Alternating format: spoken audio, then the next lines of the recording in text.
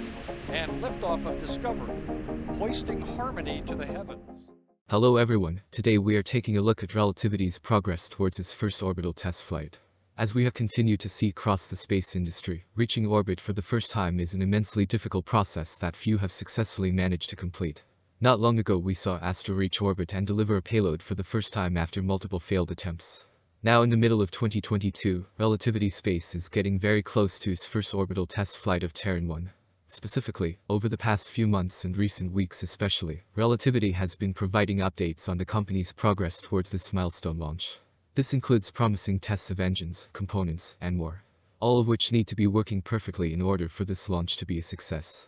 This being said, even if the flight is not 100% successful, Relativity is bound to gather a lot of invaluable information from it. Not only is this test getting closer, but Relativity is continuing to try new and ambitious ideas in the quest for increasing access to space. The launch of Terran 1 will provide more firsts than just the company's first official launch. Here I will go more in depth into the recent progress Relativity has made, what to expect in the future, and how they plan to reach orbit.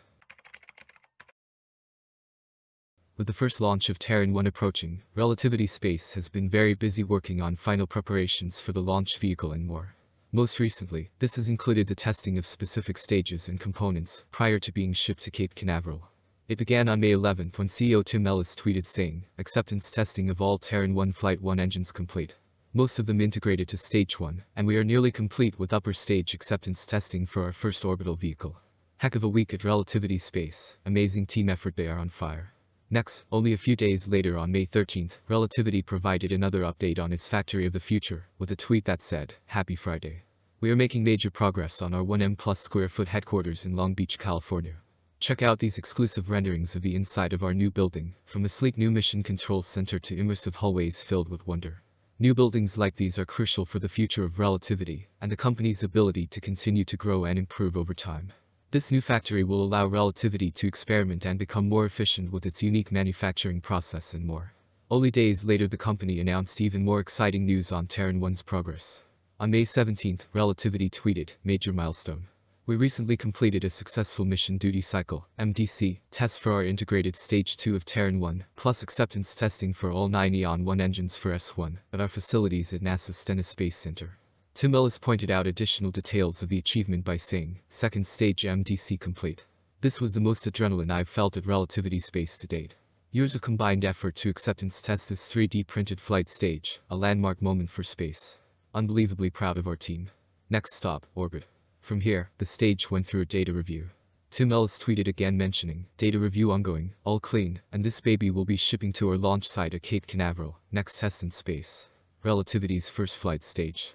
Finally, only hours ago earlier this morning, he tweeted again pointing out, and that's a wrap. Flight Stage 2 data reviews passed yesterday, and we are shipping the stage to Cape Canaveral for launch. Thanks to our amazing team. This string of tweets primarily highlights the progress over the past week of Terran 1's second stage, as it works towards a shipment to Cape Canaveral. This is in addition to some engine progress and more updates on the company's new factory in construction. With the second stage on its way to Florida, Relativity Space is closer than ever to launching Terran 1 for the first time. Now that we know some of the specific updates from Relativity over the past week, we can take a closer look at the stages and facilities Relativity is actively working on. One of the first important updates highlighted work on the company's new factory. Relativity operates multiple production, test, and launch sites across the United States, working to try to enable shorter lead times to launch, and greater launch flexibility for commercial and government customers needing access to space. Most recently, the company is working hard on its new HQ and factory in Long Beach, California. Specifically, with 120,000 square feet, Relativity's brand new headquarters and expanded factory will host both the company's business operations and an unprecedented manufacturing facility, integrating machine learning, software, and robotics with metal additive manufacturing technology to produce Terran 1, the world's first 3D printed rocket. In addition to this facility, Relativity operates one-third of the test facilities at NASA's Stennis Space Center across the E2, E3, and E4 test sites. The E2 site is used for Aeon engine component testing, including extensive thrust chamber assembly firings.